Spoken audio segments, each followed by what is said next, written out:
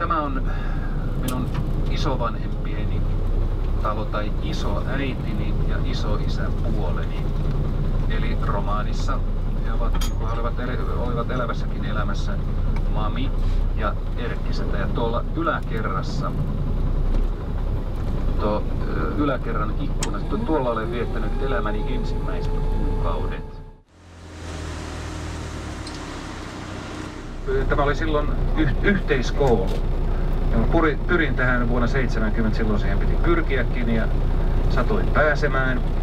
Tämä, t- tähän on tullut esimerkiksi tuo rakennus tuossa oikealla, se, sitähän ei tietenkään ollut, eikä tämän koulun vasenta siipääkään ei ollut olemassa silloin. Tämä oikealla oleva kerrostalo on, tässä on Vanamakatu 11 ja siinä asuin